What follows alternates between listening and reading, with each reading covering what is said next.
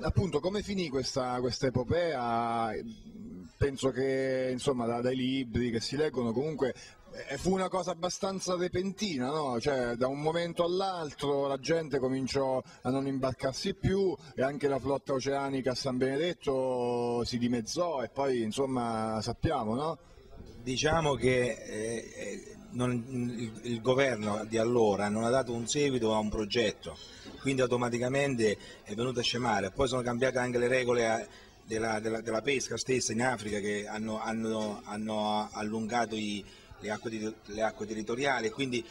bisognava investire per poi rifare nuove imbarcazioni e, e nessun imprenditore locale ha, ha, tentato questa nuova strada di, di nuova immissione, non che la gente non è più andata perché, perché non c'era più il, non c'era la domanda, se no la gente sarebbe andata comunque. Questo Marco c'ha ragione anche su questo, però è venuta anche a mancare quella quantità che all'inizio era come buttavi giù la rete di pesce ne prendevi tanto, dopo è arrivati i giapponesi, è arrivati i russi, è arrivati i coreani, era un macello là, non ci si poteva neanche più pescare in certe zone, per quando tu pensa che lì ci stavano delle navi fattoria, i russi,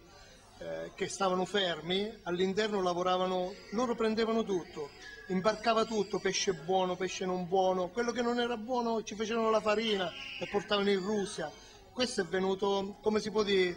ha dato un po' una ripulita al mare di quelle zone, anche se come dice Marco, se c'era un'accortezza a fare dei contratti con de, ehm, delle, delle, nazioni, se vogliamo dire così, si poteva anche andare in altre zone, tipo in Argentina, tipo, c'è stato pure un periodo che sono andati in America, a Boston, mio fratello per esempio è stato eh, in Nuova Scozia, che lì era, era, non era solo Marocco, ma era di più a livello di sofferenza perché faceva un freddo che i marinai di qua a noi eh, non, non l'avevano neanche visto, come arrivava l'acqua a bordo, anche se era salata, si gelava tutto, capito? Nella Nuova Scozia, come diceva Agostino, c'è una differenza, che ci, ci sono gli americani che hanno un controllo sul territorio mare cioè ci sono le regole, vanno rispettate, le barche non si possono permettere di imbarcare quello che vogliono, se no prendono le multe, addirittura gli levano le licenze di pesca e, e le multe gliele facevano pagare gli americani, non era uno scherzo mentre in Africa era tutto ancora eh, in alto mare, nel senso non c'era una regolarità sotto questo aspetto qui. Cioè noi siamo stati degli sfruttatori, se noi andiamo a pensare, noi siamo stati come i, coloni, i colonizzatori, noi abbiamo sfruttato quelle zone a discapito dei padroni, diciamo, dei padroni di casa, che erano gli africani di fatto, noi abbiamo tolto. Tante volte noi non guardiamo, noi guardiamo solo un aspetto diciamo quello che ci fa comodo, però noi siamo stati una specie di colonizzatori del mare, noi siamo andati lì e abbiamo fatto il bello e il cattivo tempo, cosa che in altre zone di pesca del continente non abbiamo fatto, tipo in America c'è stata una regola ben precisa. Ironia, vediamo quanto la storia a volte è ironica perché la stessa generazione che in Italia fu la prima generazione, insomma una delle prime a eh, far sentire il tema dei diritti del lavoro nella pesca con le cooperative, no? la Copea, insomma la, i contratti, la, quella stessa generazione adesso come dice Montecchiari magari metteva in atto una sorta di colonialismo. Il discorso colonialismo è una, forma di, di, è comunque il capitale che va a sfruttare un'altra, un altro tipo di situazione, comunque l'avrebbe fatto No, perché il pescatore di fatto, anche qui da noi, il pescatore comunque, se, io vi, vi dico una cosa sola, solamente, se nell'anno 1000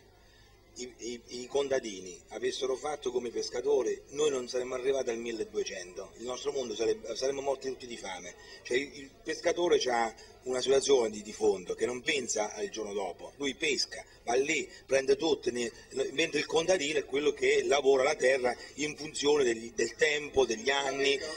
nella continuità. Ecco il, il problema di fondo. Quindi loro raccolgono solo e raccolgono di tutto Ecco, io in, questo senso qui dico il discorso di colonizzatore, non nel senso, nel senso che tu sei lì e, e, perché il sistema te lo permetteva. In America, dove non te lo permettevano, tu avevi un comportamento diverso, perché dai racconti che noi abbiamo raccolto anche in Augusto, quelli che sono stati in America parlavano di queste situazioni qui, addirittura se loro pescavano delle nasse con dentro le aragoste le dovevano ributtare in mare, se no gli facevano delle multe, delle multe eh, molto enormi, pesanti. Una domanda sulla, sulla, genesi del libro, sul, su come mh, mm, noi una mattina ci siamo incontrati sul treno e, e, e mi ha parlato insomma del, del suo metodo di lavoro per intervistare questi pescatori che ex pescatori che non sono soggetti facili da intervistare, se vogliamo, ci, vuole, ci, vogliono delle tattiche speciali. No, tattiche, bisogna purtroppo portarli fuori dal loro ambiente e come un pesce li devi portare fuori dal pesce. Però volevo rimarcare una cosa, volevo ringraziare Augusto Torquati, il mio grande amico, e sono molto soddisfatto di aver fatto il libro con lui, veramente. Speriamo che, come ha detto l'assessore, che a, se avranno bisogno di, di, del nostro materiale noi siamo disponibilissimi a darlo anche perché è un contributo che l'assessore Maremosso dà alla storia di questo paese, di questa città. Io penso che no, il fatto stesso che magari Marco, le interviste che abbiamo fatto con loro, cioè con Agostino che, che poi ci conosciamo da tanti anni, insomma, quindi l'ambiente è quello, noi eh, a me ha dato l'impressione che loro si sono aperti di più, magari fosse un giornalista normale,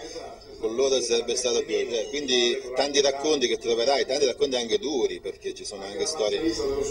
sarebbe stata una minore comprensione perché non avendo vissuto certe cose. No, magari poi la forma, eh, magari noi non è che siamo, non siamo professionisti, facciamo tutto un altro lavoro, insomma. Quello del crudo, quello che è scritto lì, tutto quello del crudo, è vero, non c'è, non c'è niente di disciotto, di, anzi forse abbiamo un po' ammorbidito. Forse. Eh, magari lì loro...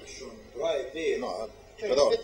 poi le storie sono tante, cioè questa è una parte solo delle storie che Alcuni magari sono più belli dal, dal vivo, magari come racconto, altri magari scrivendo perdono. Eh, magari, magari poi i racconti orali, verbali sono anche più belli, per esempio per chi sta insieme quando si raccontano le cose. Chiaramente ecco, ripeto, noi non siamo, non è che la, non siamo professionisti, facciamo, facciamo, tutto un altro lavoro, perché magari, magari ecco, poi... Vogliamo contribuire alla storia di questa città, che è la nostra città, dove io ci ho visto, non sono nato io, ci ho vissuto, però è la mia città. Lui ci è nato e,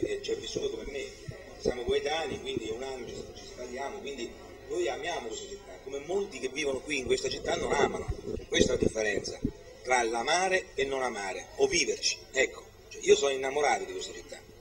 modo per dimostrare l'amore. È, il mio modo di dimostrare il mio amore in questa rivoluzione culturale affinché delle, delle, generazioni più giovani, come possono essere i miei figli, i suoi figli, un giorno i nostri nipoti, potranno dire guarda un po' a San Mette c'è stata questa storia e mio nonno o mio zio o l'amico di mio, di mio nonno ha scritto questo, cioè è fondamentale. Io vi ringrazio, chiudiamo qui, grazie di tutto.